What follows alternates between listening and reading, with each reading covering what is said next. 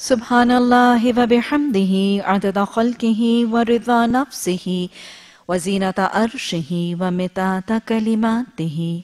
أعوذ بالله من الشيطان الرجيم. بسم الله الرحمن الرحيم.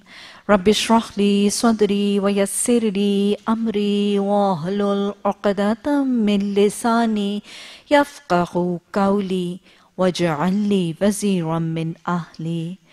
اللهم ألهمنا رشدا وعزنا من شرور أنفسنا اللهم أرنا الحق حقا وارزقنا اتباعا. اللهم أرنا الباطل باطلا وارزقنا اجتنابا. آمين ثم آمين استعینوا بالصبر والصلاح. گویا، صبر پھر کیسے ملتا ہے؟ نماز کے ساتھ. صبر کیسے ملے گا؟ نماز کے ساتھ تو نماز کیا ہے؟ نماز ذکر کا بہترین طریقہ ہے۔ گویا صبر اور ذکر کا بھی چولی دامن کا ساتھ ہے۔ مدد حاصل کرو ساتھ صبر کے اور نماز کے۔ صبر کا مطلب کیا ہے؟ صبر کا مطلب ہے جمے رہنا، رکے رہنا، ڈٹے رہنا، قائم رہنا۔ کس چیز پر؟ اللہ کی اطاعت پر۔ صبر دنیاوی تکلیفوں اور جسمانی تکلیفوں پر بھی ہے، لیکن صبر جس کی تاکید قرآن کرتا ہے، وہ بنیادی طور پر دین کے راستے میں آنے والی مشکلات پر صبر جو ہے، اس کا مطلب قرآن کی تاکید ہے۔ مطلب کیا ہے؟ مطلب یہ ہے کہ جب تم اللہ کے دین کے علم کو حاصل کرنے، سیکھنے، سکھانے، عمل کرنے، کروانے کے مرحلے میں چلو گے تو مشکلات آئیں گی۔ آگے ہی اللہ سبحانہ تعالیٰ بتائیں گے کہ آزمائش شرط ہے۔ دین کے راستے میں آمنہ کہو گے تو آزمائشیں تو آئیں گی۔ ہر شکل میں آئیں گی، کہیں مذاق ہوگا، کہیں جھگڑا ہوگا، کہیں تنقید ہوگی، کہیں کرٹیسزم ہوگی، کہیں مالی نقصان ہوگا، کہیں معاشرتی نقصان ہوگا، کہیں دل دکھے گا۔ کہیں آساب دکھیں گے، کہیں جسم دکھے گا، کہیں پیشے کو نقصان ہو، نقصان تو ہوں گے تمہیں۔ تکلیفیں برداشت کرنی پڑیں گی، مشکلات اور آزمائشیں آئیں گی۔ کبھی روحانی، کبھی مالی، کبھی جسمانی، کبھی معاشی، کبھی معاشرتی۔ لیکن صبر کا مطلب کیا ہے کہ جب تکلیف آئے، ٹینشن، پریشانی، گھبراہٹ، اضطراب سراسیم کی آج یہ بچی نے کہا کہ اب ایک ہی چیز کے لیے بہت سے لفظ بتا دیتی ہیں تو سب نے لکھے جاتے، ایک لکھ لیجیے انشاءاللہ آہستہ سنتے رہیں گے نا تو سارے یاد ہو جائیں گے۔ صبر کا مطلب کیا ہے کہ جب تکلیف آئے، اس وقت پریشانی، ٹینشن انگزائٹی ڈسٹریس استراب سراسیمگی کا شکار نہیں ہونا اور شکار ہو کر اللہ کی اطاعت کو چھوڑ نہیں دینا۔ اللہ کی فرما برداری کو چھوڑ نہیں دینا۔ چھوڑ کے یو ٹرن کر کے اپنے واپس طریقہ زندگی کو اپنا نہیں لینا۔ ارے بھئی یہ رستہ تو بہت مشکل ہے۔ پریشانی آئی، کسی نے مذاق بنایا، کسی نے تنقید کی، کسی نے دکھ دیا، کسی نے مصیبت دی۔ کاروبار دھندے کا نقصان ہو گیا۔ ٹینشن کا شکار، پریشانی کا شکار، مجھ سے نہیں ہوتا یہ کام۔ یو ٹرن اباؤٹ ٹرن وہی ٹھیک تھا، یہ صبر نہیں ہے۔ اب صبر کا مطلب سمجھ آیا؟ سمعنا و اتوانا کہنے کے بعد جب اس راستے پہ چلیں گے، اس راستے میں جب جو جیسی دکھ، پریشانیاں، مشکلات آئیں گی، سب سے پہلی بات اس میں گھبرانا نہیں، پریشان نہیں ہونا، ٹینشن نہیں لینی انگزائٹی اور استراب کا شکار نہیں ہو جانا۔ اور ان تمام چیزوں کے ساتھ کول ریلیکسڈ کنٹینڈڈ مطمئن راضی برضا رہ کر اللہ کی اطاعت کا دامن چھوڑنا نہیں ہے بلکہ اسی مشکلات والے راستے پر چلتے رہنا ہے یہی صبر ہے اور بے صبری کیا ہے تکلیف آئی اللہ کے راستے پہ چلے تکلیف آئی مشکل آئی پریشانی آئی غم آئی ٹینس ہو گئے ہائے میرا کیا بنے گا رونے لگے، دھونے لگے، پریشان ہونے لگے، ٹینشن کا شکار ہونے لگے، اور ٹینشن میں آ کے اس رستے کو چھوڑ کے واپس اسی ضابطہ خیات کو اپنا لیا۔ یہ بے صبری ہے۔ تو اللہ نے بار بار قرآن میں صبر کی تاکید کی ہے۔ لیکن یاد رکھیے گا، ساتھ صبر کو اپنانے کا طریقہ بھی بتا دیا۔ وسطینو صبر کرنا چاہتے ہو تو نماز کے ساتھ کرو۔ سجدوں کی کسرت نماز کا حسن، نوافل کی کسرت تحجد شاک چاش، صبر نہیں آ رہا، اور نماز پڑھو، اور نوافل میں کھڑے ہو۔ اللہ کے حضور قیام کرو، تمہیں صبر آ جائے گا۔ اللہ سے ملاقات کرو گے؟ صبر کا طریقہ بھی بتا دیا گیا، اور صبر کرنے والوں کو تسلی بھی دے دی گئی۔ بڑا پیارا حصہ آیت کا۔ ان اللہ مع الصابرین، اللہ کے راستے میں جم کے تو دیکھو۔ اللہ کی اطاعت پر ڈٹ کے تو دیکھو۔ اللہ تمہارے ساتھ معاون و مددگار ہو جائے گا اور جس کے ساتھ رب معاون ہو جایا کرتا ہے، اس کو کسی مدد کی ضرورت نہیں رہتی۔ ان اللہ مع الصابرین، صبر کا بہترین پھل و بہترین انجام ہے۔ یاد رکھیے گا، جب کوئی بندہ، جب کوئی قوم اللہ کی رضا پر جم اور جھٹ جاتی ہے، تکلیفوں اور مشکلات کو برداشت کرتی ہے تو اللہ چھوڑا نہیں کرتا۔ وہ سمی بھی ہے، وہ بصیر بھی ہے، وہ خبیر بھی ہے۔ وہ ساری مشکلات کی اس چکی کو دیکھ بھی رہا ہوتا ہے، سن بھی رہا ہوتا ہے، جان بھی رہا ہوتا ہے۔ اور مور اوور وہ الودود ہے، وہ اس ازمائے جانے والے سے شدید محبت بھی کرتا ہے، اس کو چھوڑتا نہیں ہے۔ اور پھر جب وہ مدد کرتا ہے تو پھر وہ اپنی شان سے کیا کرتا ہے، وہ بندوں کی شان سے نہیں کرتا۔ ان اللہ مع الصابرین، صبر میں جب یہ یاد رہے اس مشکل میں نہ میرا باپ ساتھ ہے، نہ میری ماں ساتھ ہے، نہ میری برادری ساتھ ہے، نہ میرے دوست احباب ساتھ ہے لیکن میرا رب ساتھ ہے تو یاد رکھیے گا، یہ رب کا رستہ آسان ہو جاتا ہے۔ اور یہ آسانی اس کو زیادہ ملے گی جو رب کے ساتھ ملاقات اور نماز کو قائم کر لیتا ہے۔ اللہم جعلنی صبورا و جعلنی شکورا۔ اور پھر صبر کی ایک الٹیمیٹ حد کیا ہے؟ صبر ہی تو ہے، شہادت۔ کہ اللہ کو راضی کرنے کی خواہش اور اللہ کو راضی کرنے کی کوشش اور دین پر استقامت اس حد تک رہی کہ جان چلی گئی کہ شہادت صبر کی حد ہے اور اس صبر کی حد کی تعریف اور اس کا درجہ اللہ سب سے پہلے بتا رہا ہے، وَلَا تَقُولُوا لِمَنْ يُقْتَلُ فِي سَبِيلِ اللَّهِ أَمْوَاتًا، وہ شہید جو صابروں کا صف اول ہے۔ وہ شہید جس نے اتنا صبر کیا کہ اس کی جان بھی اسے لے لی گئی، لیکن اس نے اللہ کی اطاعت کا پیمانہ نہیں چھوڑا۔ یہ صابر شہید جو ہے، تم اس کو مردہ نہ کہنا آگے سے، بل احیاؤن وہ تو زندہ ہے۔ وَلَا لَا تَشْعُرُونَ، تمہیں پتہ نہیں ہے کہ وہ کیسے زندہ ہے۔ شہادت صبر کا بہترین درجہ ہے۔ اور پھر اللہ اس صبر کی کتنی قدردانی کرتا ہے کہ اس اس شہید صابر کے خون کا پہلا قطرہ گرتے سار اس کے سارے گناہ بخش دیے جاتے اللہ اس صابر شہید کی کتنی قدردانی کرتا ہے کہ اس شہید کو صرف ایک سوئی کا، ایک سوئی چبنے کی تکلیف ہوتی ہے۔ اللہ کو اس شہید صابر کا وہ صبر اتنا خوبصورت اور اس کی شہادت کی صداقت اتنی محبوب ہے کہ حدیث کے الفاظ ہیں کہ دو قطرے جو اللہ سبحانہ تعالیٰ کو سب سے زیادہ محبوب ہیں۔ دو قطرے جو اللہ سبحانہ تعالیٰ کو سب سے زیادہ محبوب ہیں، ایک ہے وہ شہید کے خون کا قطرہ اور ایک مومن کی آنکھوں سے بہ جانے والا، خوف خدا سے بہنے والا آنسو کا قطرہ۔ جب خوف خدا سے مسلمان روتا ہے تو وہ قطرہ بھی میرے رب کو بہت پسند ہے۔ اور وہ خون کا نظرانہ جو شہید اللہ کے راہ میں دیتا ہے، وہ خون کا قطرہ بھی رب کو بہت پسند ہے۔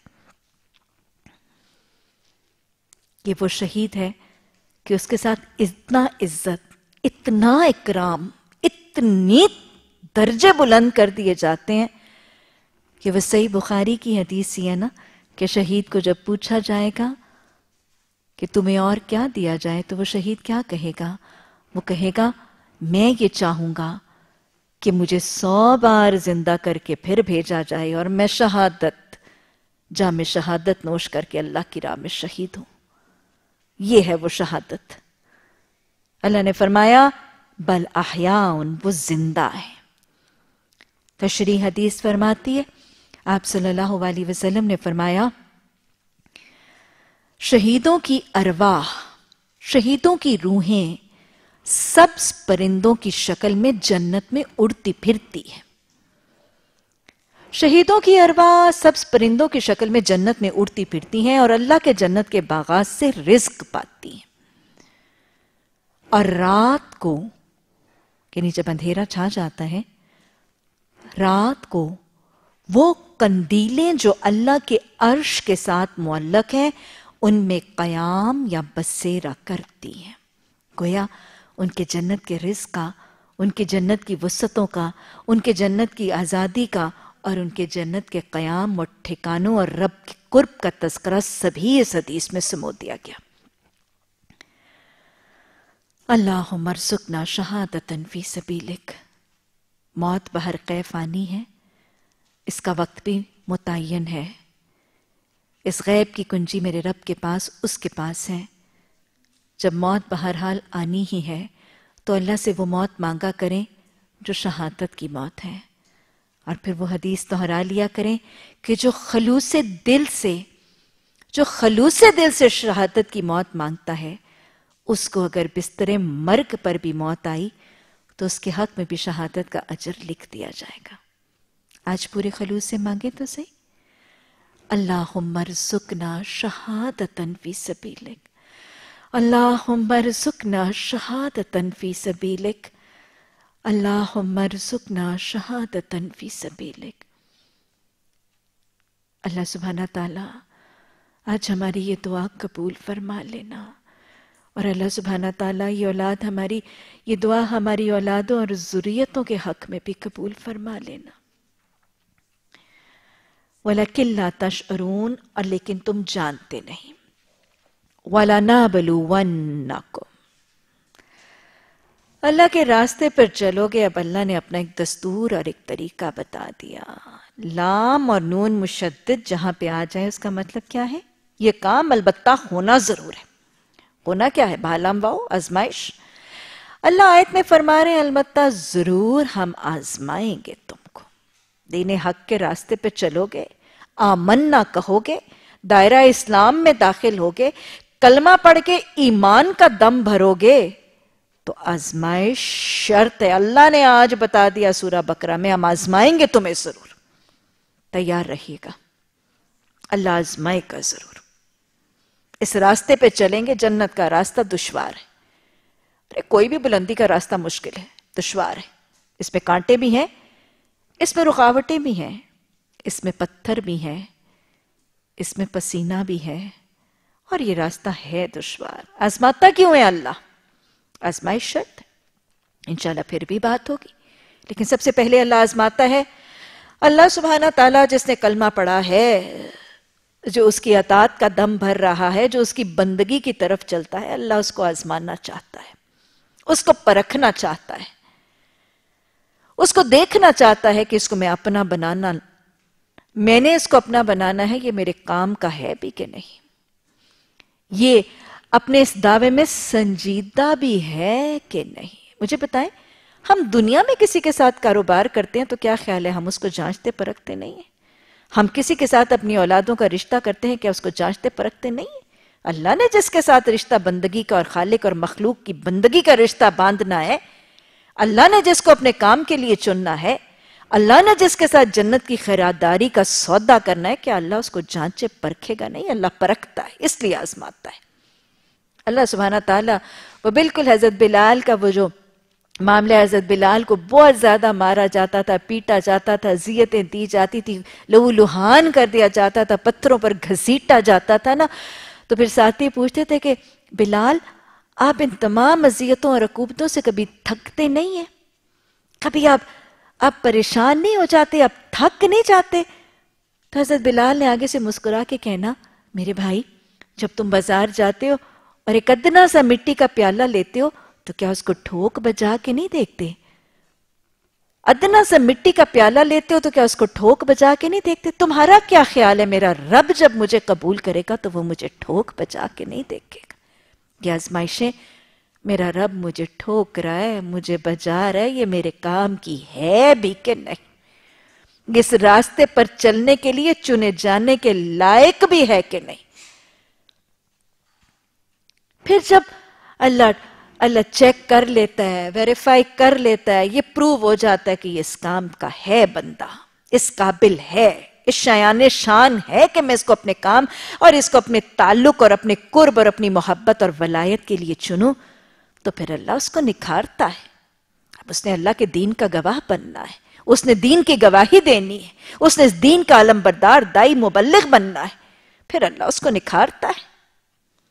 کلام اس کا نکھرا۔ نبی اس صلی اللہ علیہ وسلم اس کے اتنے ان نقل خلق نظیم والے نبی اس دین کے علم برداروں کو اپنے خاص الخاص بندوں کو پھر وہ نکارتا ہے، رگڑتا ہے مانچتا ہے، پالش کرتا ہے، گرائنڈ کرتا ہے۔ بالکل ویسے جیسے ہیرا تراشا جاتا ہے۔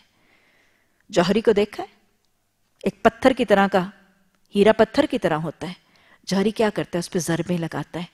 اس کو کاٹتا ہے کاٹتا ہے ڈفرنٹ اینگلز وہ کاٹو کے کرسٹل اتنا مہنگا ہیرا بن جاتا ہے۔ اس کو اس کو ضربیں لگانی پڑتی ہیں، اس کو تراشنا پڑتا ہے اس پتھر کو ہیرا بنانے کے لیے۔ سونا کسی بھٹی میں پکتا ہے تو کندن بنتا ہے۔ اللہ مومن کو پھر کندن بنانا چاہتا ہے، آزمائشوں کی بھٹی میں سے گزارتا ہے۔ مٹی کا پیالہ ہوتا ہے، کچی مٹی کا پیالہ ہے، نہ پانی روکتا ہے۔ ٹوٹ جاتا ہے ٹھوکر سے، لیکن اس کو پھر بھٹی میں پکایا جاتا ہے تو وہ عمدہ سے عمدہ ہوتا چلا جاتا ہے۔ مثلا آپ دیکھیں، بڑھائی ہے، وہ لکڑی کا سامان تیار کرتا ہے کارپینٹر، وہ کیا کرتا ہے؟ اس کو ریگ مال لگاتا ہے۔ اس کو رگڑتا ہے، اس کو مانچتا ہے، اس کو پالش کرتا ہے، پھر وہ فرنیچر اس کا چمک اٹھتا ہے۔ سمجھ آیا؟ اب اللہ بندے کو چن لیتا ہے، پھر اس کو آزمائشوں کی بھٹی میں پکاتا ہے۔ اس کو رگڑتا ہے، اس کو مانچتا ہے، اس کو گرائنڈ کرتا ہے، اس کو ضربیں لگاتا ہے آزمائشوں کی۔ والا نہ بلو ون میں آزماؤں گا تمہیں۔ میں تمہیں اب ریفائن کرنا چاہتا ہوں۔ میں تمہیں پالش کرنا چاہتا ہوں، اس لیے میں آزماؤں گا۔ اچھا اب اس کے کام کا بھی بن گیا؟ اللہ جوہری نے اسے انمول موتی بھی بنا لیا۔ پھر اللہ کیا کرتا ہے؟ پھر وہ اللہ کا محبوب ہے نا؟ پھر تو وہ اللہ کا پسندیدہ بندہ ہے۔ اللہ نے چن لیا، اب اس کو کیوں آزماتا ہے؟ اب اس کو جنت میں اپنا قرب دینا چاہتا ہے۔ اس کے درجات بڑھائے گا تو اس کو اپنے قریب کرے گا نا جنت میں۔ اس کو تکلیفیں، آزمائشوں سے اس لیے آزماتا ہے، وہ صبر کرے گا، وہ شکر کرے گا۔ اس کے درجے پڑیں گے، حدیث میں آتا ہے نا۔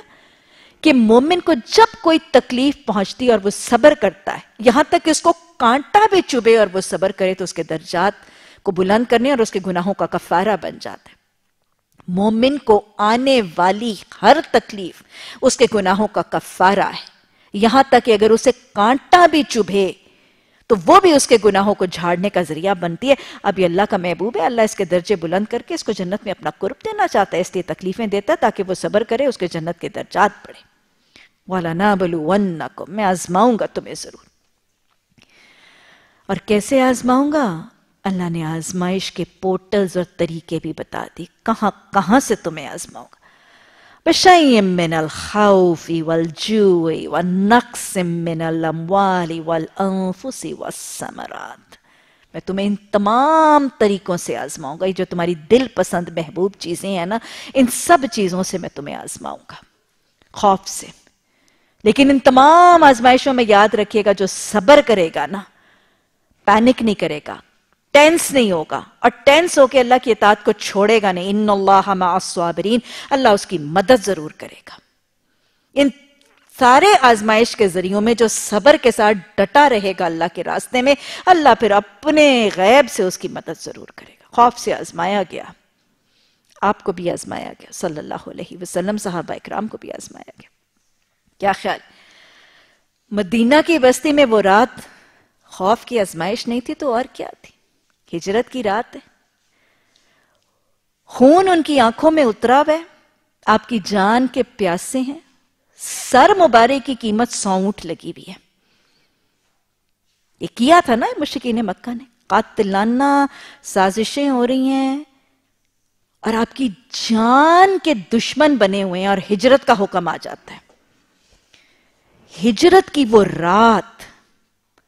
کیا خیال ہے؟ رسول اللہ صلی اللہ علیہ وسلم کے گھر کے گرد جب محاصرہ تھا تو کیا خوف نہیں تھا؟ اپنے گھر کا، اپنی بچیوں کا، اپنی بستی کا۔ کیا خیال ہے؟ خوف نہیں تھا عزتوں کا، آبروؤں کا، جانوں کا؟ اپنی اولادوں کا خوف کیا دل میں آیا نہیں ہوگا؟ اس وقت کیا پینک کر رہے ہیں آپ صلی اللہ علیہ وسلم؟ جب گھر کے اندر ہے اور محاصرہ ہے تو کس قدر شدید خوف ہوگا؟ اپنے آپ کو رکھ کے تو دیکھے وہاں۔ وہ جانی دشمن گھر کا گھیرا باندھے ہوئے ہیں اور حکم آیا ہوا ہجرت کا، کس قدر شدید خوف۔ لیکن اس خوف میں نہ پریشانی ہے، نہ گھبراہٹ ہے۔ رب پر توکل ہے، راضی برضا ہے اور رب کی اطاعت کا کیفیت اور حال کیا ہے اس خوف کی حالت میں بھی۔ اللہ کی اطاعت جاری ہے، جس میں ایمانت کا پاس نہیں، اس میں ایمان نہیں۔ اس خوف کی حالت میں بھی امانت اور امانت کی پاسداری کا احساس موجود ہے۔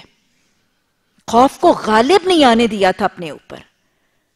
اس قدر شدید خوف اپنا اپنی اولادوں کا، اپنے سارے گھر بار کا، عزتوں کا، آبروؤں کا اسمتوں کا خوف تھا۔ ہر قسم کا خوف اس وقت تھا۔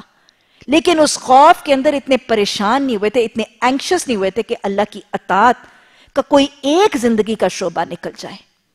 اس وقت بھی حضرت علی کو کی بستر پر چھوڑ کے امانتیں سونپتے ہیں کہ یہ صاحب، یہ مال والوں کے پاس واپس پہنچا دی یہ ہے صبر کی کیفیت۔ پریشانی اور خوف میں بھی اللہ کی اطاعت کا دامن چھوڑا نہیں تھا۔ اس کے بعد ان صفوں میں سے گزرنا حکم ہے کہ ہجرت کریں۔ یہ نہیں کہا تھا کہ خوف میں آ کے، پریشانی میں آ کے یہ کہنے کا تصور ہی موجود نہیں۔ کہ اب تو وہ گھر کا احاطہ کیے ہوئے اب تو دشمن گھر پہ آئے ہوئے وہ بھیڑیے خون کے پیاسے ہو کے گھیرا باندھے ہوئے ہیں۔ کمپرومائز ہو جائے ریکنسلیشن ہو جائے، کوئی وعدہ معاہدہ ہو جائے۔ وہ تو آفر کرتے تھے کہ محمد صلی اللہ علیہ وسلم، ایک سال ہمارے بتوں کو پوچھیں ایک سال ہم آپ کے بتوں کو پوچھتے ہیں۔ آپ ہمارے بتوں کو کچھ نہ کہیں۔ ہم آپ کے خدا کو کچھ نہیں کہتے، وہ تو معاہدوں کے وعدے کر رہے تھے، وہ تو پیشکشیں کر رہے تھے۔ لیکن صبر ہے نا اللہ نے کہا ہے ہجرت کرنی ہے اور آج نقل مکانی کر کے مکہ سے نکل جانا ہے؟ اللہ کی اطاعت اس حالت میں بھی قائم ہے۔ کتنا خوف ہوگا جان کے جانے کا۔ لیکن اس خوف کی کیفیت کے اندر قدم ڈگمگائے نہیں تھے۔ ان صفوں کے اندر سے وہ قدم نکلے تھے۔ کیا خیال ہے؟ اللہ کی مدد آئی تھی کہ نہیں آئی تھی؟ کبھی ایسا ہوا ہے؟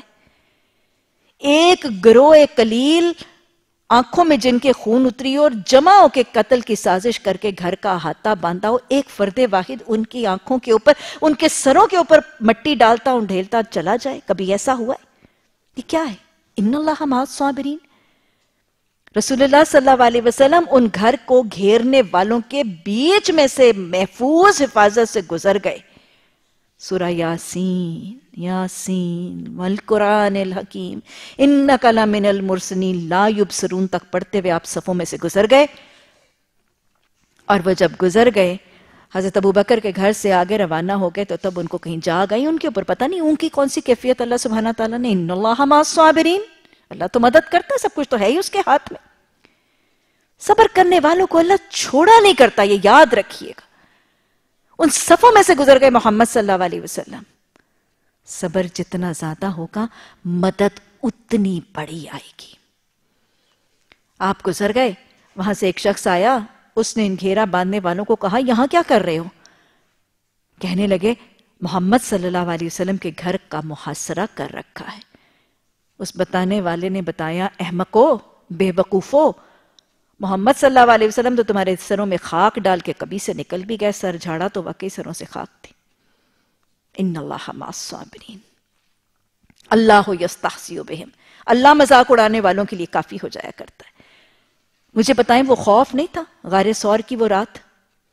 خوف تھا؟ سر مبارک کی قسم سو اونٹ اس کی قیمت لگائی گئی۔ تھی آپ صلی اللہ علیہ وسلم اور حضرت ابو بکر یار غار، تنہا ہیں دونوں غار میں۔ لیکن کیا ہے؟ اس وقت یہ نہیں ہے کہ باہر نکل کے ان کے ساتھ کوئی کمپرومائز یا ریکنسیلیشن ہو جائے یا اسلام کے معاملے میں کوئی کمپرومائز ہو جائے، نہیں۔ ہجرت بھی کرنی ہے اور اللہ کے دین کے راستے پہ جمع بھی رہنا ہے۔ لا تحزن، ان اللہ معنا۔ حضرت ابو بکر کو تسلی دی، خوف نہ کر۔ جن لوگوں کو اللہ کی آیات پر یقین ہوتا ہے، آپ صلی اللہ علیہ وسلم کا ایمان بہت مضبوط۔ ان اللہ مع الصابرین کی آیات آ چکی ہیں۔ حضرت ابو بکر کو تسلی دیتے ہیں۔ لا تحزن ان اللہ معنا۔ حضرت ابو بکر، آپ پریشان نہ ہو، اللہ ہمارے ساتھ ہے۔ اللہ واقعی ساتھ۔ ان اللہ مع الصابرین کیسے ہوتا ہے؟ وہ ایک مکڑی کو حکم دیا اللہ نے۔ کائنات مخلوق ساری تو اللہ کی ہے۔ اللہ جیسے چاہے مدد کر دے۔ ایک مکڑی کو حکم دیا، مکڑی نے آ کے جالا ڈال دیا۔ غار کے منہ پہ، غار کے دھانے پہ جانا تان دیا۔ اور ایک فاختہ کو حکم دیا، اس نے آنن فانن کلمہ کن ہے رب کے لیے مدد کرنا؟ وہ ایک گھونسلہ بن گیا۔ آنے والوں نے آ کے دیکھا، یہ یہ غار۔ اس میں تو لگتا ہے پتہ نہیں کوئی سالہ سال سے گھسا ہی نہیں۔ غار کے دھانے تک پہنچے ہوئے وہ دشمن جو پتہ نہیں کہاں سے قدموں کی چاپ کا سراغ لگا کے اس غار سور کے دھانے تک پہنچے تھے۔ اللہ نے پلٹا دیا۔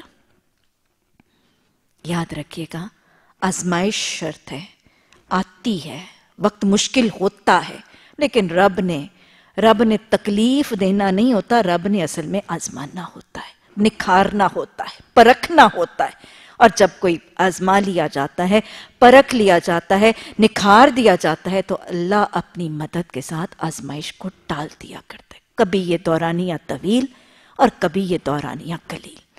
اللہم جعلنی صبورا و جعلنی شکورا۔ اور صرف آپ صلی اللہ علیہ وسلم پر نہیں آئیں خوف کی تو اتنی داستانیں ہیں کہ میرا خیال ہے میں تاریخ اسلام میں سے جتنی بتاتی جاؤں اتنی کم ہے۔ بڑی پیاری سی رات ہے۔ غزوہ خندق کی رات۔ خوف ہے ایک صحابی کو۔ صحابہ کے ساری پونجی کو ایک خوف تھا۔ کیا ہوا تھا؟ غزوہ خندق ہے نا؟ مسلمانوں نے ایک خندق کھود لی تھی۔ اتنا بڑا لشکر آ رہا تھا نا، الاحزاب کمبائنڈ فورسز آ گئی یہودی بھی آ گئے تھے مشکین بھی آ گئے تھے۔ کتنے گروہوں نے مل کر مدینہ پر یلغار کی تھی۔ مسلمان بیچارے بہت ہی تھوڑے سے تھے۔ وہاں سے تقریباً بیس ہزار آئے تھے اور مسلمانوں کے لڑنے والے جنگجو صرف تین ہزار تھے۔ تو سلمان فارسی نے یہ یہ مشورہ دیا اور وہ خندق کھود دی گئی۔ وہ خود بذات خود بہت بڑی سی آزمائش تھی اور مرحلہ تھا۔ اکیس دن ہو گئے محاصرے کو۔ اب کوئی باہر سے کھانا بھی نہیں آ رہا، خوراک بھی نہیں آ رہی، کوئی چیز بھی نہیں آ رہی۔ مدینہ والوں کے لیے بھی حالات آسان نہیں تھے۔ اور پھر اکیس دن کا محاصرہ مسلمانوں کا ہو چکا ہے۔ اس پر حضرت حضیفہ بن یمان اپنا واقعہ سناتے ہیں۔ خوف دیکھیے گا کیسے ازمائے جاتے ہیں اور پھر خوف میں جمنے والوں کے لیے اللہ کی مدد بھی کیسے آتی ہے۔ حضرت حضیفہ بن یمان فرماتے ہیں کہ اکیس دن محاصرے کو گزر چکے تھے، رات کا وقت تھا۔ اللہ کے رسول صلی اللہ علیہ وسلم اپنے خیمے میں موجود تھے اور بہت سے صحابہ اکرام ساتھ وہیں پہ موجود۔ کہتے کہ شدید تاریخ اندھیری رات تھی اور بہت سخت سردی تھی اور سخت تیز طوفانی ہوائیں چل رہی مدینہ کی ٹھنڈی ہوائیں۔ اگر آپ لوگ جانیں تو وہ کوئٹہ کی ہواؤں کی طرح ہیں۔ ایسے جیسے جسم میں سے پار ہو جاتی۔ کہتے ہیں بالکل تاریخ رات تھی۔ سخت شدید سردی تھی۔ اور طوفانی ٹھنڈی ہوائیں چل رہی تھیں۔ ہم سب صحابہ اکرام آپ صلی اللہ علیہ وسلم کے خیمے میں موجود تھے اور آپ صلی اللہ علیہ وسلم نے ہمیں مخاطب ہو کر فرمایا، تم میں سے ہے کوئی شخص جو مجھے دشمنوں کی صفوں اور ارادوں کی خبر لا کے دے۔ یہاں سے کوئی ہے جو مخبر ہے، وہ خندق کو عبور کر کے کتنا خوف ہے۔ ذرا سوچیں تو صحیح کتنی وہ پندرہ بیس فٹ گہری کھائی اور دس پندرہ فٹ چوری کھائی اس کو عبور کرنا پھر کراس کر کے سامنے دشمن کی فوجوں کا سامنا کرنا، وہ ظاہر ایسے تو نہیں بیٹھے ہوئے تھے وہاں پہ۔ کوئی نہیں اٹھا۔ حضرت عزیفہ بن یمان کہتے ہیں کہ میرے پاس لباس بھی بہت ہی پتلا سا تھا اور میں اپنی بیوی کی ایک باریک سی اوڑنی لپیٹے کونے میں سمٹا بیٹھا۔ ظاہر ٹھنڈ تھی اور کہتے ہیں پتلی سی میں نے جیسے ململ کا کوئی باریک سا دوپٹا وہ میں نے اپنی بیوی کا لپیٹا ہوا تھا اور کونے میں میں سمٹا ایک کونے میں بیٹھا تھا۔ آپ صلی اللہ علیہ وسلم نے ایک دفعہ جب یہ کہا، صحابہ اکرام میں سے کوئی نہیں اٹھا۔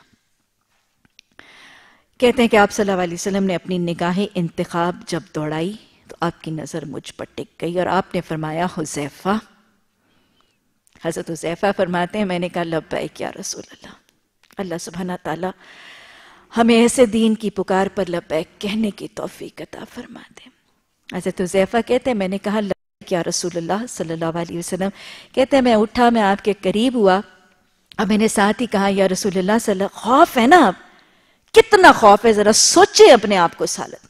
ٹھنڈ بھی ہے، سردی بھی ہے، اندھیرا بھی ہے، اتنا گہرا گڑا بھی ہے اور گڑے کے پار دشمن کی فوجوں کے وہ بھیڑیے وہاں پہ بیٹھے ہیں، جو اکیس دنوں سے بیٹھے ہیں، وہ کسی ایک کو ابھی تک شہید نہیں کر چکے۔ ان کے ہتھے کوئی چڑھے گا تو کریں گے کیا؟ پتہ چل گیا خوف کیسے؟ حضرت زیفہ کہتے ہیں، میں نے کہا، یا رسول اللہ صلی اللہ علیہ وسلم، میں شہادت کا متمنی ہوں۔ یعنی میں مرنے سے نہیں ڈرتا، لیکن خوف صرف اس بات کا ہے کہ اگر دشمنوں کے ہاتھ لگ گیا تو ستایا جاؤں گا۔ لیکن ایمان ہی نہ خراب ہو جائے۔ کہتے ہیں آپ صلی اللہ علیہ وسلم نے میرے لیے دعا کی کہ الہی حسیفہ کی آگے سے پیچھے سے، اوپر سے نیچے سے حفاظت کرنا اور اس سے ایمان کی خرارت نوازنا۔ کہتے ہیں آپ کی دعا تھی کہ وہ جو ٹھنڈک میرے جسم میں اور وہ سردی کا شدید احساس تھا، وہ سب مجھ سے جاتا رہا۔ لباس تو ابھی بھی وہی ہے، اوڑھنی تو پل کی ابھی بھی وہی ہے، لیکن کہتے ہیں وہ ٹھنڈ شنڈ ساری جاتی رہی۔ اور کہتے ہیں کہ اس دعا کا اجاز تھا کہ وہ سارا خوف اور روب میرے دل سے جاتا رہا۔ کہتے ہیں میں بڑا ہی مطمئن ہو کے اس خندق میں اترا، اس میں چلا، اس میں چڑھا اور خندق کے پار کیا۔ کہتے ہیں وہی جو وہاں پہ ہوا کہ آپ صلی اللہ علیہ وسلم صفوں میں سے گزرے۔ ان اللہ ما صابرین اللہ کے لیے تو کوئی مشکل ہی نہیں ہے۔ کہتے ہیں کہ وہاں پہ دشمن کی فوج کے جتنے سپاہی بیٹھے تھے، میں ان کی صفوں میں سے گزر گیا۔ کسی نے میرا کچھ نہیں پکاڑا، گویا میں کسی کو نظر ہی نہیں آیا۔ اب کہتے ہیں کہ جب میدان میں پہنچا، وہاں پہ اتنے خیمے، اتنا بڑا لشکر تھا۔ کتنا بڑا لشکر تھا، آپ اندازہ تو لگائیں کتنے بڑے خیمے ہوں گے اور کتنے زیادہ کثیر خیمے ہوں گے۔ اب اگلا مرلہ کیا تھا؟ کہاں جاؤں؟ کہاں سے خبر لوں؟ کہاں سے سی آئی ڈی ملے؟ ذرا اپنے آپ کو اس سفر میں ساتھ رکھ کے دیکھیے گا اور پھر سوچے میں اتنے بڑے سفر میں پہنچ گیا، اب وہاں پہ اتنے خیمے، اب میں کہاں جاؤں؟ خبر کہاں سے لاؤں؟ یہاں سے کسی غلط میں چلا گیا، پکڑ کے پکڑا گیا، مخبری یہاں تو اللہ نے بچا دیا، آگے کتنی دفعہ اللہ مجھ سے کرے گا؟ لیکن اللہ تو کرتا ہے۔ جو جتنا صبر کرتا ہے اللہ اتنی بڑی مدد بھیجتا ہے۔ کہتے ہیں کہ میں نے پہلے خیمے کا دروازہ جھانک کر دیکھا تو وہاں پہ ایک محفل برپا تھی۔ ابو سفیان کھڑا تھا اور وہ لوگوں سے مخاطب کر کے کہہ رہا تھا، بھائیو ہمارا محاصرہ بہت طویل ہو گیا ہے اور ہمارے جانور مرتے جا رہے ہیں۔ آؤ سب اپنے آئندہ لائے عمل کے بارے میں فیصلہ کریں۔ کہتے ہیں، میں چپ سے سمٹ کے بیٹھ گیا۔ اللہ نے کیسے صحیح جگہ پہ پہنچا دیا۔ اللہ ایسے ہی مدد کیا کرتا ہے۔ اللہ کی راستے میں جب کوئی نکلتا ہے نا، تو اللہ ایسے ہی مدد کرتا ہے۔ بیٹھ گیا۔ اب کہتے ہیں کہ اس پر ابو سفیان نے یہ کہا کہ بھائیو ہم سب ایک دوسرے کو نہیں جانتے بیکاز ڈفرنٹ ٹرائبز اور قبیلوں کے لوگ تھے نا۔ تو کہتے ہیں کہ بہترین ہے کہ ہم جاسوسوں سے یا خبر لینے والوں سے بچ جائیں۔ ان کو بھی خیال تھا کہ شاید کوئی جاسوس آ گیا ہوگا۔ تو اس میں بہترین طریقہ یہ ہے کہ ہم کیا کریں، ہر شخص جو بیٹھا ہے اپنے ساتھ دائیں بائیں بیٹھے والوں کی تصدیق کر لے۔ اچھا، حضرت عزیفہ کہتے ہیں، میں نے دائیں بائیں دیکھا، تو میرے دائیں بائیں دو وہ لوگ تھے جن کے لیے آپ نے فرمایا تھا، یہ راخیت العرب ہے عمرو ابن الاس مکہ کے جو سب سے سیانے سمجھدار اور شاپ اور کلیور لوگ ہیں، وہ میرے دائیں بائیں بیٹھ کہتے میں نے کم مارا گیا حضیفہ اللہ کا مارا جانے دیتا ہے۔ صبر کر کے بیٹھے ہوئے یہاں تک صابر ہی تھے تو پہنچ گیا اللہ چھوڑتا ہے بولا کہتے ہیں دائیں بائیں دیکھا رائیت العرب واللہ مستعان، اللہ مدد کرنے والا ہے۔ کہتے ہیں اللہ نے پتہ نہیں کہاں سے غیبی طاقت دی، کہاں سے مجھے طریقہ سکھایا کہ میں نے پہلے دائیں بیٹھے ہوئے شخص کی ران پر ہاتھ مار کے پوچھا، بتا تیرا نام کیا؟ اس نے اپنا نام بتایا۔ پھر کہتے ہیں میں نے، وہ کہتے ہیں نا کانفیڈنس کی مار مارنا۔ کہتے ہیں پھر میں نے بائیں بیٹھے والے شخص کے اوپر یہ کہا، اس نے اپنا نام بتایا اور اللہ نے ان کی عقل پر ایسے پتھر ڈالے کہ ان دونوں نے میرا نام نہیں پوچھا۔ نہ انہوں نے میری طرف دیکھا۔ وہاں بیٹھ کر اطمینان سے ابو سفیان کی ساری پریشانی، ساری گھبراہٹ سنی کہ اب اکیس دن ہو گئے ہیں، ہوائیں بہت تیز ہیں، طوفان بہت زیادہ ہے، پیچھے سے کمک آ نہیں رہی، ہمارے دشمن مر رہے ہیں، کھانا ہمارا ختم ہو رہا ہے۔ چلو ایسا کرو کہ یہاں سے واپس پلٹ جائیں۔ یہ سارا مشورہ سن کے واپس اسی رداد میں سے رسول اللہ صلی اللہ علیہ وسلم کے پاس آئے اور یہ خبر سنا دی کہ یہ ابو سفیان خود یہاں پہ ڈگمگایا ہوا ہے اور وہ واپس پلٹنے کی تیاری کر رہے وہ تو خیر رات کو وہ آندھی آئی تھی اور طوفان آئے تھے اور ان کے خیمے اکھڑ گئے تھے اور ان کے برتن بکھر گئے تھے اور ان کے مویشی بھاگ گئے تھے۔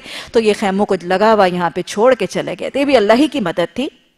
لیکن رسول اللہ صلی اللہ علیہ وسلم کو خبر دی اور پھر اس پہ حضرت عزیفہ بن یمان فرماتے ہیں کہ اللہ کے رسول صلی اللہ علیہ وسلم نے پہلے تو دعا کی تھی نا ایمان کی، حرارت کی، کہتے ہیں کہ پھر مجھے اپنا کمبل، وہ رسول اللہ صلی اللہ علیہ وسلم کی جو کمبلی ہے، کہتے ہیں کہ وہ میرے اوپر ڈال دی، کہتے ہیں کہ مجھے ساری زندگی اتنے سکون اور اتنے لطف کی نیند نہ آئی جتنی مجھے اس سرد رات میں آئی تھی۔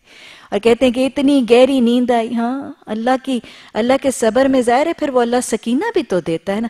کہتے ہیں، میں اتنے سکون سے سویا کہ فجر کی نماز کی بھی مجھے خبر نہ رہی۔ یہاں تک کہ میں نے دیکھا کہ اللہ کے رسول صلی اللہ علیہ وسلم میرے پاس بیٹھے ہیں، میرا شانہ ہلا رہے ہیں اور کہہ رہے ہیں کم یا نومان اے سونے والے، اب اٹھ جاؤ۔ اے نیند کے مت والے، اب اٹھ جاؤ۔ تو وہ دیکھیں کہ کس طرح اللہ اس سے بڑا خوف کی کیفیت ہو نہیں سکتی نا تو اللہ نے کہا کہ میں تمہیں خوف سے آزماؤں گا اور کس سے آزماؤں؟ والجوع، بھوک سے بھی آزماؤں گا۔ لیکن بھوک سے آزمانے والوں کے لیے پھر یاد رکھیے اللہ صبر کرنے والوں کے ساتھ آزمائے گئے اللہ کے رسول صلی اللہ علیہ وسلم۔ وہ کافروں نے نکال دیا تھا مشکین مکہ نے، قریش مکہ نے نکال کر شعب ابی طالب میں محصور کر دیا تھا۔ شعب ابی طالب ایک گھاٹی تھی، صحابہ اکرام، رسول اللہ صلی اللہ علیہ وسلم۔ آپ کے چچا بھی، آپ کی بہت ہی وہ محبوب بیوی حضرت خدیجہ بھی شعب ابی طالب میں محصور ہیں۔ اور کیا خیال ہے، بھوک آئی نہیں تھی؟ کتنی بھوک تھی؟ جڑی بوٹیاں کھا رہے ہیں، پتے کھا رہے ہیں۔ صحابہ اکرام کہتے ہیں کہ ہم ہم چمڑے کو بھگو بھگو کر چوستے تھے، اتنی بھوک آئی تھی۔ اور پھر اللہ کی مدد آئی تھی۔ کہ وہ ان کے بچے جب بھوک سے بلکتے تھے تو قریش مکہ میں سے کچھ رشتہ داروں کا دل نرم ہو گیا تھا اور انہوں نے یہ محاصرہ کاٹ دیا تھا۔ پھر بھوک آئی۔ اللہ کے رسول صلی اللہ علیہ وسلم یہی غزوہ خندق غزوہ خندق کے واقعات ویسے بہت ہی امان افروز سے ہیں۔ کتنی بھوک تھی۔ کتنی شدید بھوک ہے۔ اکیس دن صحابہ اکرام رسول اللہ صلی اللہ علیہ وسلم کے ساتھ مل کر وہ خندق کھودتے تھے۔ ہم تو آزمائے نہیں گئے۔ یاد رکھیے گا، دین نے تو ہمیں برکتیں ہی دی ہیں، رحمتیں ہی دی ہیں، سکینہ ہی دیا ہے، عزتیں ہی دی ہیں۔ اس دین کے راستے پر تو ہم آزمائے ہی نہیں گئے۔ یہ تو اللہ نے ہم پہ بڑا کرم کیا ہے۔ یہ دین مجھے اور آپ کو تو عزتیں ہی دے رہا ہے۔ یہ مجھے اور آپ کو تو یہ رحمتوں سے نواز رہا ہے۔ مجھے اور آپ کو تو یہ سکینہ ہی فراہم کر رہا ہے۔ اس دین نے ہمیں آزمایا تو ہے ہی نہیں۔ حالانکہ یہ شرط ہے آزمائش۔ صحابہ اکرام اکیس دن تک وہ اپنے ہاتھوں سے اتنی سنگلاخ چٹانے جب کھوتے ہیں تو کھانا نہیں، بھوک، پیاس، شدت کی نقاقت کی حالت ہے۔ ایک صحابی اللہ کے رسول صلی اللہ علیہ وسلم کی خدمت میں حاضر ہوتے ہیں اور کیا کرتے ہیں؟ شکوہ نہیں ہے نا، صبر پھر بھی ہے۔ لیکن اپنی کیفیت، اپنے نبی صلی اللہ علیہ وسلم کے ساتھ شیئر کرنے کے لیے نا اپنا وہ، اپنی شرٹ، اپنا کرتا اٹھاتے ہیں اور پیٹ پر کیا ہے؟ ایک پتھر بندھا ہوا دکھاتے ہیں۔ آپ کیا کرتے ہیں؟ ہاں نبی صلی اللہ علیہ وسلم ساتھ ہے نا تو خدائی میں بھی ساتھ ہیں، پتھر توڑنے میں بھی ساتھ ہیں، بھوک میں بھی ساتھ ہیں، سب سے بڑھ کے ساتھ ہیں۔ آپ صلی اللہ علیہ وسلم نے جب کرتا مبارک اٹھایا تھا تو شک میں مبارک پر ایک نہیں، دو پتھر بندے تھے۔ صحابہ اکرام میں سے کچھ کی نظر پڑی، کچھ کو خبر ملی۔ آپ صلی اللہ علیہ وسلم کی بھوک کا شدید احساس ہوا۔ ایک صحابی کہ گھر میں خبر پہنچتی ہے، صحابیہ کے گھر میں خبر پہنچتی ہے تو اپنی بیٹی گھر میں دیکھتی ہے کہ اللہ کے رسول صلی اللہ علیہ وسلم اور صحابہ کو اتنی شدید بھوک ہے۔ گھر کے مرد کوئی نہیں تھے، اپنے گھر کا کھانا، اپنے اپنے گھر میں نہیں، سمیٹ رہی ہیں، وہ بھی صابرہ ہیں، دے رہی ہیں۔ کچھ کھجوریں ہیں۔ انہوں نے اپنی بیٹی بنت بشر کو یہ کھجوریں دے کے اس ماں نے بھیج دیا، جا جا کے محمد صلی اللہ علیہ وسلم کو دیا۔ ان اللہ مع الصابرین، دیکھیے کیا ہوا تھا۔ آپ صلی اللہ علیہ وسلم نے وہ مٹھی بھر کھجوریں، وہ چھوٹی سی بچی بنت بشر، وہ کھجوریں لے کر آتی ہیں، ماموں کے ذریعے رسول اللہ صلی اللہ علیہ وسلم تک پہنچاتی ہیں، آپ فرماتے ہیں، دسترخوان بچھاؤ، اللہ اکبر۔ بھوک کی پیاس کی تکلیف کاٹی تھی، اللہ کی مدد تو آنی تھی، اللہ نے بھوکے پیٹوں مرنے تو نہیں دینا تھا ازمایا تھا اللہ نے تو، اللہ نے پھر مدد کرنی تھی۔ وہ دسترخوان بچھایا گیا صحابی کہتے ہیں، دسترخوان بچھایا، ہم سب آئے، وہ مجاہد جو خندقیں کھود رہے ہوں گے، وہ کتنے بھوکے ہوں گے۔ ذرا سوچیں تو صحیح۔ کتنے بھوکے ہوں گے اور کتنے دنوں کے بھوکے تھے اور وہ اتنی مشقت کرنے والوں کو کتنی بھوک ہوگی۔ کہتے ہیں، وہ چھوٹی سی دست، ایک چھوٹی سی بچی کے ہاتھ میں ویسے بھی کتنی کو کھجوریں آ جائیں گی۔ وہ دسترخوان میں ڈالی گئی صحابی آتے گئے، کھجوریں کھاتے گئے، کہتے ہیں، سب نے پیٹ بھر کے کھجوریں کھائیں اور اتنی کھجوریں واپس بچ گئی اہل خانہ کو واپس کر دی گئی اللہ نے ان کو بھی آزمایا تھا صبر کے لیے اور اللہ نے ان کو بھی آزمایا تھا۔ لیکن اللہ کی مدد ہمیشہ ساتھ رہتی۔ اللہ توکل کے زیور سے آراستہ کر دے ایک اور صحابی ہیں، حضرت جابر بن عبداللہ۔ انہوں نے جب بھوک کے معاملے میں یہ پتہ چلا، احساس ہوا فوراً اپنے گھر گئے اور اپنی بیوی کو جا کے پوچھا، کیا گھر میں کچھ ہے؟ وہ بیویاں بھی صابرہ ہوتی تھیں، شاکرہ ہوتی تھیں، دین کی مددگار ہوتی تھیں۔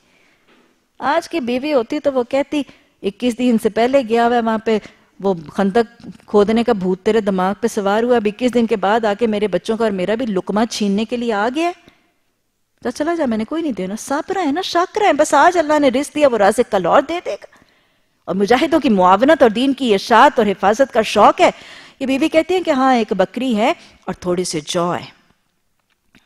تو وہ کہتی ہیں اچھا تم جاؤ، تم فکر نہ کرو، یہ کام میں سمیٹ لوں گی۔ جابر بن عبداللہ رضی اللہ تعالیٰ عنہ رسول اللہ صلی اللہ علیہ وسلم کی خدمت میں حاضر ہوتے ہیں پیچھے بارہ سارا بندوبست بیوی کر رہی ہیں۔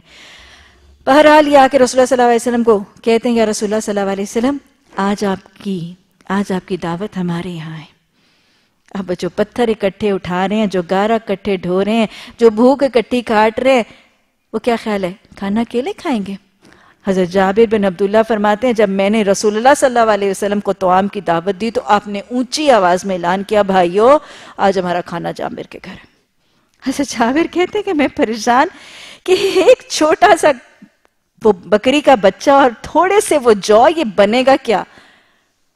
لیکن یاد رکھیے گا، جو اللہ کی رضا کے لیے، اطاعت کے لیے معاملہ کیا کرتا ہے، اللہ اسے چھوڑتا نہیں۔ آپ نے فرمایا کہ وہ دیجکی میں سے کفگیر کو نہ نکالنا جب تک میں نہیں آؤں گا۔ کفگیر کو دیجکی میں ہی رکھا گیا۔ آپ صلی اللہ علیہ وسلم تشریف لے کے کچھ روایات میں آتا ہے کہ آپ نے اپنے دست مبارک سے وہ کفگیر چلایا اور کچھ میں آتا ہے کہ آپ نے لعاب دہن بھی ڈالا۔ گھر والے راوی کہتے ہیں کہ کھانا اتنا تھا کہ مجاہد آتے بھی گئے، کھاتے بھی گئے، سب پیٹ بھر کے کھا کے چلے بھی گئے۔ گھر والوں کے لیے اسے پہلے سے زیادہ کھانا بچا رہ گیا۔ ان اللہ ایک اور غزوہ ذات و رقا کی جنگ کہا جاتا ہے۔ چیتھڑوں والی جنگ۔ اتنا، اتنی مالی تنگی تھی نہ ان کے پاس لباس تھے، نہ ان کے پاس جوتے تھے، نہ ان کے پاس سواریاں تھیں اور نہ ان کے پاس کھانا تھا۔ صحابہ کہتے ہیں کہ ہمارے پاس جنگ کے وہ سفر کے لیے ہمارے پاس جو راشن کھانے کا تھا، وہ صرف کھجوریں تھیں۔ اور کہتے ہیں کہ کھجوریں، اتنا تھا راشن سفر، اتنا طویل تھا کہ پہلے تو ہمیں دن کی دو کھجوریں ملتی تھیں۔ پھر سفر طویل ہو گیا تو دن کی ایک کھجور ملنے لگی۔ ہاں، مکہ سے مدینہ کبھی جائیں گے نا تو وہ ذرا سفر دیکھیے گا۔ پھر اس پہ دن کی ایک کھجور کا احساس کیجیے۔ کہتے ہیں کہ پھر دن کے آخری حصوں میں کچھ تھا کہ ہمیں دن کی ایک کھجور ملتی تھی اور ہمارا حال یہ ہوتا تھا کہ ہم سارا دن اس کھجور کو چوس چوس کے گزارتے تھے۔ اللہ نے بھوکے پیٹوں مارنا تو نہیں تھا، اللہ نے تو بھوک کی آزمائش سے آزماننا تھا صرف۔ کہتے ہیں کہ یہ کیفیت کچھ دن تاری رہی۔ کچھ دن بعد ہم ایک سمندر کے ساحل پہ پہنچے۔ ان اللہ صابرین یہ سمندر بھی اللہ کا ہے، یہ مچھلیاں بھی اللہ کی ہیں، ہوائیں پانی بھی اس کی ہیں۔ اللہ کے حکم سے سمندر نے ساحل سمندر پر اتنی بڑی ایک ویل مچھلی الٹ کر پھینک دی۔ کہتے ہیں ہم نے وہاں پہ پڑاؤ کیا۔ پیٹ بھر بھر کے مچھلی کا گوشت کھایا، باقی کے گوشت کو نمک لگا کر ذخیرہ کر کے ساتھ آگے کے لیے بھی لے کر گئے، واپس آ کے مدینہ کی بستی میں محمد صلی اللہ علیہ وسلم کو بھی پیش کیا۔ اب سمجھ آیا؟ ان اللہ مع صابرین ہوتا کیسے؟ اللہ چھوڑتا نہیں صابروں کو۔ اللہ صبر کی توفیق دے، صبر کے ذریعوں پر جمنے کا معاملہ ہمارے لیے آسان کرے اور اللہ ایسا توکل کا زیور دے دے۔ کہ اللہ ہر حال میں یہ راضی برضا رہے کہ تو ہمارے ساتھ ہے اور اللہ اپنا قرب محسوس کرنے والا ایمان بھی عطا فرما دے۔ اللہ نے فرمایا کہ صرف بھوک سے وہ نقص من الاموال مالوں کی کمی سے بھی میں تمہیں آزماؤں گا۔ آزمائے گئے تھے، صحابہ بہت سے آزمائے گئے تھے۔ کیا خیال ہے حضرت مصب بن عمیر آزمائے نہیں گئے تھے؟ مصب بن عمیر جو مکہ کے شہزادے ہیں۔ بڑے مالدار گھر کے چشم و چراغ ہیں۔ بڑے خوش لباس ہیں، بڑے خوبصورت اور حسین ہیں، جوان ہیں۔ اتنے لاڈلے تھے ماں باپ کے کہ منہ سے بات نکلتی بعد میں تھی اور خواہش پوری پہلے ہوتی تھی۔ عمدہ ترین لباس، مکہ کے اندر کا لباس نہیں، مکہ کے باہر سے آئی ہوئی وہ ریشمی کپڑے پہنتے تھے۔ خوشبو بھی مکہ کی نہیں، مکہ کے باہر کی آئی ہوئی خوشبو استعمال کرتے تھے اور اتنے نفیس اور اتنے خوش لباس اور لباس کے پسند کرنے والے تھے کہ وہ ابھی، راوی کہتے ہیں کہ حضرت مصب بن عمیر کے وہ شہزادہ ہونے کے دور کی بات ہے کہ مصب ابھی گلی میں آتے نہیں تھے تو لوگ ان کی خوشبو سے پہچان لیتے تھے کہ مصب آنے والے اتنے صاحب مال، اتنے خوش لباس، اتنی دنیا کی لذتوں کے ساتھ محبت رکھنے والے کے دل میں کون سا رنگ آ گیا تھا؟ اللہ کا رنگ آ گیا۔ اللہ کے رسول صلی اللہ علیہ وسلم پر ایمان لائے، کلمہ طیبہ پڑا اور دار ارکم کے قیدی بن گئے۔ پتہ ہے نا دار ارکم کیا تھا؟ وہ قرآن کے نور کی تعلیمات جس گھر سے نکلتی تھیں، وہ دار ارکم کے اسیر ہو گئے، وہیں پڑے رہتے تھے۔ ماں نے مارا، باپ نے مارا، گھر میں پیٹا گیا، گھر سے دھتکارا گیا، گھر والوں نے کہا آنکھ کر دیں گے، مال چھین لیں گے، کہا، جو مرضی کرو، میں راضی ہوں۔ میرے لیے راستہ یہی ہے، اب عقیدت کا، محبت کا پیمانہ بدل گیا تھا۔ دھن کی دیوی کو، مال کی دیوی کو ٹھکرا دیا تھا، لات مار دی تھی، ٹھوکر مار دی تھی، گھر والوں نے لباس بھی چھین لیا تھا۔ ایک کمبل ہوا کرتا، پھٹا، پرانا، چھوٹا سا کمبل تھا، وہ جو جسم کے سطر کو ڈھانپنے کے لیے استعمال کرتے۔ تھے اللہ کے رسول صلی اللہ علیہ وسلم، حضرت مصب بن عمیر کا یہ لباس دیکھ کر بس اوقات آپ کی آنکھیں آنسوں سے تر ہو جاتی۔ لیکن اللہ اللہ بڑا قدردان ہے۔ اللہ کی رضا کے لیے جب صبر کرتے ہیں، تو اللہ پتہ نہیں کیسے درجات بھی دے دیتا ہے، کیسے اللہ عزت بھی دے دیتا ہے۔ اللہ کے رسول صلی اللہ علیہ وسلم کے پاس وہ بیت اقبا ثانیہ کے بعد جب مدینہ کے لوگ آئے تھے نا، اور مدینہ کے لوگوں نے یہ مطالبہ کیا کہ اللہ کے رسول صلی اللہ علیہ وسلم اب ہم نے تو آپ سے دین سیکھا، لیکن ہم اپنے پیچھے والوں کو نہیں سکھا سکتے۔ ہمارے ساتھ کوئی اپنا ایسا نمائندہ بھیج دیجیے جو مدینہ میں لوگوں کو آپ کے دین کی تعلیمات سکھائے۔ مدینہ تو رسول صلی اللہ علیہ وسلم میں آپ سے پہلے جو قرآن کی تعلیم لے کے جانے کا ذریعہ بنے گا، یہ کون تھے؟ صبر کریں گے نا تو وہ قدردان اور شکور رب درجے ضرور بڑھائے گا۔ اجر ضرور دے گا۔ مدد بھی کرے گا لیکن درجے بھی بڑھائے گا۔ حضرت عمر اس میں خاص کہتے ہیں کہتے ہیں کہ جب وہ بیت اقبا والوں نے کہا کہ ہمارے ساتھ ایک دائی بھیج دیجیے، تو حضرت عمر کہتے ہیں کہ آپ نا اپنی نگاہ گھمانے لگے۔ بلکہ واقعی میں نے ایک تاریخی کتاب میں پڑھا کہ حضرت عمر کہتے ہیں کہ میں ذرا صفوں میں پیچھے تھا، میں اپنا سر اٹھا کے اونچا ہونے لگا کہ شاید نگاہ انتخاب مجھ پر رک جائے۔ فستبک الخیرات ہے نا؟ کہ شاید میں چن لیا جاؤں مبلغ مدینہ کے طور پر۔ کہتے ہیں کہ آپ صلی اللہ علیہ وسلم نے حضرت مصب بن عمیر کو منتخب کیا۔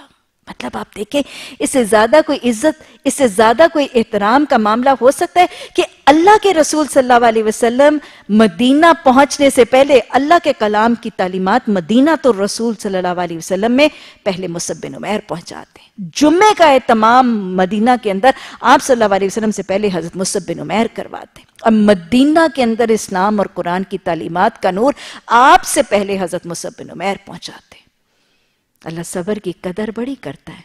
اور رب کی خاطر دی بھی قربانیاں جب صبر سے ہوتی ہیں تو اللہ بہترین قدردانی کا معاملہ اور درجات کی بلندی عطا فرماتا ہے۔ تو میں مالوں کی کمی سے بھی آزماؤں گا والانفسی اور جانوں کی کمی سے بھی آزماؤں گا۔ آزمائے گئے تھے۔ سارے صحابہ آزمائے گئے تھے۔ آپ صلی اللہ علیہ وسلم بھی آزمائے گئے، صحابہ اکرام بھی آزمائے گئے۔ جنگ بدر میں ابو عبیدہ بن جرہ نے اپنے باپ کے جسم کے دو ٹکڑے کیے تھے۔ حضرت ابو بکر اپنے بیٹے کے سامنے جنگ کے ساتھ آمنا سامنا ہوا۔ حضرت عمر کا اپنے ماموں کے ساتھ معاملہ ہوا۔ حضرت مصب بن عمیر نے اپنے ہاتھوں سے اپنے بھائی ایک کو قتل کیا اور دوسرے کو قیدی بنایا۔ اور آل یاسر کیسے آزمائے گئے تھے۔ آل یاسر، حضرت عمار بن یاسر کے والد اور والدہ، حضرت سمیہ اور حضرت عمار کے والد، حضرت یاسر۔ حضرت سمیہ اور حضرت یاسر اور ان کے دو بیٹے۔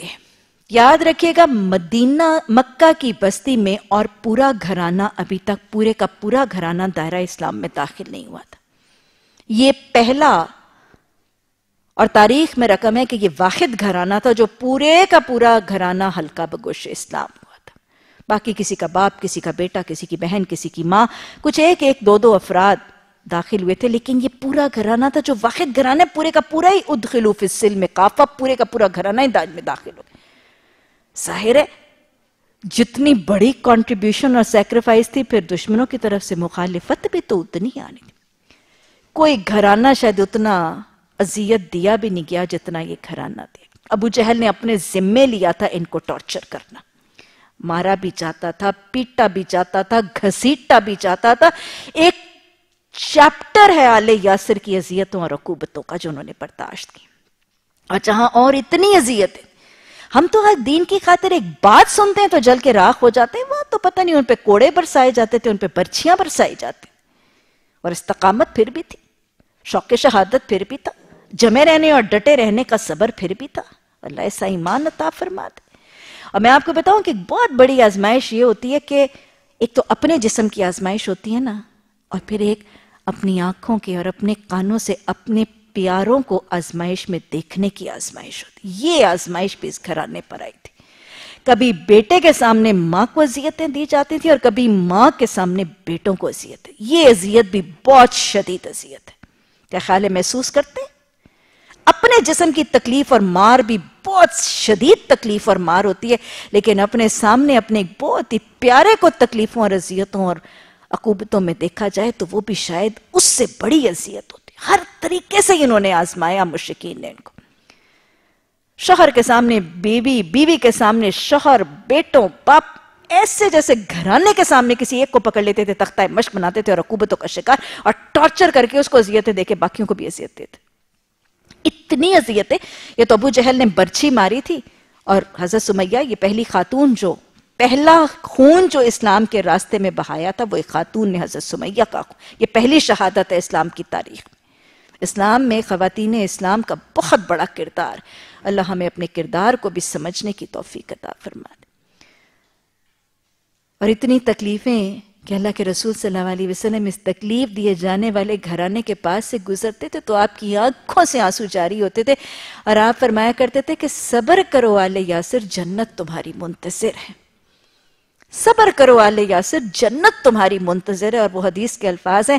آپ نے فرمایا، آپ دیکھیں نا کہ ہم سب جنت کے متمنی ہیں۔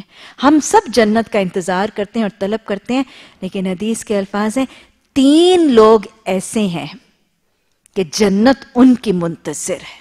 ہم جنت کے منتظر اور وہ تین ایسے کہ جن کی جنت منتظر۔ کون ہے جی؟ حضرت علی، حضرت سلمان فارسی اور حضرت یاسر۔ یہ صبر ہے حضرت یاسر کا کہ صبر کرو آل یاسر، جنت تمہاری منتظر ہے۔ تو اللہ نے فرمایا کہ میں تمہیں آزماؤں گا، ضرور جانوں اور مالوں اور پھلوں کی کمی سے آزماؤں گا۔ وَبَشِّرِ الصَّابِرِينَ، آزمائشوں میں جو پورا اترے گا، اس کو بہترین خوشخبری اور انعامات سے نواز دو۔ جانوں کی آزمائش سے آزمائے گئے تھے حضرت ام سلمہ اور حضرت ابو سلمہ بھی۔ حضرت ابو سلمہ اور حضرت ام سلمہ یہ دونوں بھی ازواج انہوں نے اسلام قبول کیا۔ چھوٹا سا ایک شیر خار بچہ تھا۔ جب انہوں نے دیکھا کہ مکہ کی وسطی میں اب ہم اللہ کے اقامات کے اطاعت کے مطابق زندگی گزار نہیں سکتے ہیں، تو بستی کو خیر آباد کہنے اور ہجرت کا صبر کا پتھر اپنے سینے پر رکھ کر مکہ کی بستی سے ہجرت کرنے لگے۔ مکہ کی بستی سے بھی کچھ میل دور بھی نہیں گئے ہوں گے تو رشتہ دار حضرت ام سلمہ کے آ گئے۔ اور ابو سلمہ کو گریبان پکڑ کے کہنے لگے، اے ہمارے بتوں کے دشمن، تو ہمارے بتوں کی دشمنی کرے ہمارے بتوں کے خلاف کرے ابائی دین سے الہاد کرے اور تو ہماری بیٹی کو اپنے ساتھ بھی لے جائے، ہم تجھے یہ نہیں کرنے دیں گے۔ ابو سلمہ کو کہا، تم نے جانا تو تم اکیلے جاؤ، ہم اپنی بیٹی کو تمہارے ساتھ نہیں جائیں اب میاں بیوی کے درمیان جدائی کر دی، باپ بیٹے کے درمیان جدائی کر دی۔ حضرت ام سلمہ کو واپس اس بچے کے ساتھ مکہ لایا گیا۔ حضرت ابو سلمہ ہجرت کر کے مدینہ تشریف لے گئے۔ یہ ہے صبر۔ ازواج ویسے ہی بڑے محبوب ہوتے ہیں اور پھر وہ جو ہم خیال ہوں، وہ تو اور ہی محبوب ہوتے ہیں۔ وہ جو دین کے معاون اور مددگار ہوں، وہ تو سونے پر سہاگا ہوتے ہیں بہرحال اللہ نے صبر دیا، دونوں ازواج الگ ہو گئے۔ اب اس پر اور ظلم توڑا ان ظالموں نے۔ انہوں نے کیا کیا کہ اب ابو سلمہ کے گھر والے اور ابو سلمہ کے بہن بھائی آ گئے۔ ام سلمہ کے پاس جو مکہ کی بستی میں اب اکیلی خاتون اپنے بچے کو سینے سے چمٹائے ہیں۔ اس اسرال والوں نے کہا، ان کے میکے والوں سے آ کے کہا، ام سلمہ کے، کہ تم نے ہمارے بیٹے سے اس کی بیوی چھینی، اب ہم تمہاری بیوی بیٹی سے اس کا بچہ چھینیں گے۔ یہ ابو سلمہ کا بچہ ہے، اس کو ہم اپنے پاس رکھنے کے حقدار تم سے زیادہ ہیں۔ اب ماں اور بچے کو بھی جدا کر دے گا۔ یہ پہلے تو جدا نہیں ہوتے تھے۔ یہ پہلے تو ہنستے بستے تھے، کھیلتے تھے، اپنی برادری میں رہتے تھے۔ یہ تکلیف کیوں آ رہی تھی؟ کالو رب اللہ اللہ کو اپنا رب کہہ دیا تھا۔ اور کیا تھا؟ اور پھر رب کہنے کے بعد وہ جمے رہے تھے۔ اتنی تکلیفوں پر وہ یہ نہیں کہتے تھے کہ ہم میاں بیوی کو اور بچے کو کٹھے رہنے دو، ہم تمہارے بتوں کو مان لیتے ہیں، ہم اللہ کا انکار کرتے ہیں۔ صبر تھا، استقامت تھا اللہ کے راستے میں آنے والی تکلیف پر۔ اللہ کی اطاعت کو چھوڑا نہیں تھا۔ اللہ کی بندگی کو ترک کیا نہیں تھا۔ دائرہ اسلام سے خروج اختیار کیا نہیں تھا۔ بس یہی سزا تھی۔ بچہ کہیں ہے، ماں کہیں ہے۔ سینے میں دودھ ہے، چھاتی میں دودھ ہے، وہ بلکتی ہیں، روتی ہیں، تڑپتی ہیں، بچہ علیحدہ رو رہا ہے۔ ماں علیحدہ رو رہی ہے ابو سلمہ مدینہ کی بستی میں، یہ مکہ میں وہ دوسری گلی میں بچہ ہے۔ راوی بتاتے حضرت ام سلمہ کا حال یہ ہوتا تھا کہ جب اس عمر کے کسی بچے کو دیکھتی تھی تو اس کو پکڑ کے اپنی چھاتی سے لگا لیتی تھی۔ ماں ہے نا، یہ سب، یہ تکلیف اور یہ دکھ وہی محسوس کر سکتی ہے جو ماں ہو۔ اور وہ اتنی شدید تکلیف اور اتنے کرب میں سے جب وہ ماں گزرتی ہے تو پھر اللہ سبحانہ تعالیٰ نے ان پتھر دل قریش کا بھی دل نرم کر دیا تھا اور اللہ نے برادری والوں میں سے کسی کے دل میں ڈال دیا کہ ماں اور بیٹے کو ملا تو ظالمو اللہ صبر اللہ صبر کرنے والوں کی معاونت کر کے کچھ ظالموں کے دل ہی کبھی بدل دیا کرتا ہے۔ ماں اور بیٹا جو ہی ملے، رات کے اندھیرے میں حضرت ام سلمہ کہتی ہیں، میں مکہ سے ہجرت کرنے کے لیے ارادہ کر کے باہر نکل آئی۔ مکہ اور مدینہ کا سفر اور یہ تنہا خاتون ایک شیر خار بچے کے ساتھ۔ اس زمین پہ میں رہ نہیں سکتی کیونکہ یہاں مجھے میرے رب کے دین کے مطابق رہنے دیا نہیں جائے گا۔ اکیلی تن تنہا یہ خاتون نکل آتی ہیں مکہ کی بستی سے۔ ان اللہ صابرین اللہ سبحانہ تعالیٰ کے حکم سے ایک صحابی مکہ سے مدینہ جا رہے ہیں، ان کے پاس اونٹ ہے۔ اونٹ کو لا کے ان کے پاس بٹھاتے ہیں۔ یہ اس کے اوپر سوار ہوتی ہیں اور آفیت کے ساتھ اللہ سبحانہ تعالیٰ کے حکم کے ساتھ حضرت ام سلمہ، ابو سلمہ کے پاس واپس مکہ کی بستی سے مدینہ پہنچ جاتی ہیں۔ آزمائش شرط ہے، امتحان شرط ہے ابتلا شرط ہے، لیکن اس میں صبر کرنے والوں کو طریقہ نماز ہے اور وعدہ اللہ کی نصرت اور معاونت کا ہے۔ رب عيني على ذكرك وشكرك وحسن عبادتك اللهم اجعلني صبورا واجعلني شكورا واجعلني في عيني صغيرا وفي أعين الناس كبيرا ربنا لا تزغ قلوبنا بعد إذ هديتنا وهب لنا من لدنك الرحمة إنك أنت الوهاب سبحانك اللهم وبحمدك نشهد أن لا إله إلا أنت نستغفرك ونتوب إليك.